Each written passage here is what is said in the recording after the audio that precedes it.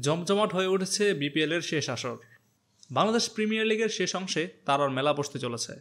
Knockout পর্ব নিশ্চিত করে দলগুলোতে আসছে Mujib, Sunil Narine, Andre Russell, Dwayne ব্রাভরা।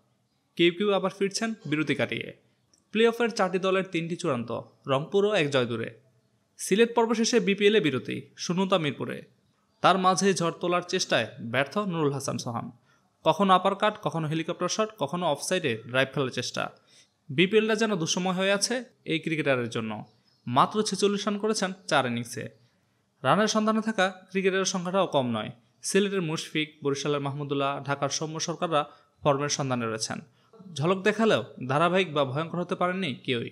সেরা পাঁচ ব্যাটারের তালিকায় আছে বিদেশি মাত্র একজন, কিন্তু সেখানেও তৃপ্ত হওয়ার সুযোগ নেই। সাকিব আল হাসান ছাড়া নাজমুল শান্ত, নাসির, তামিমদের স্ট্রাইক খুব একটা বিধ্বংসী নয়।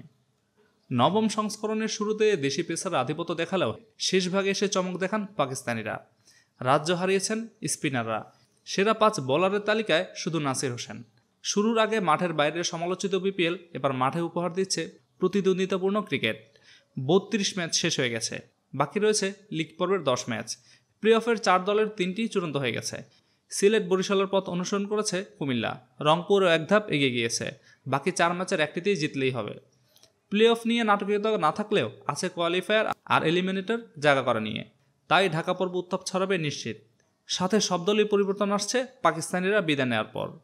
পয়েন্ট টেবিলের শীর্ষে থাকা সিলেটে ইতিমধ্যে যোগ দিয়েছেন পাকিস্তানি পেসার মোহাম্মদ ইরফান ও আফগান অলরাউন্ডার গুলবাদিন নাইব ইতিমধ্যে রংপুর ঘোষণা দিয়েছে, তারা আরেক আফগান স্পিনার মুজিবুর রহমানকে নেয়ার ইচ্ছা পোষণ করেছে।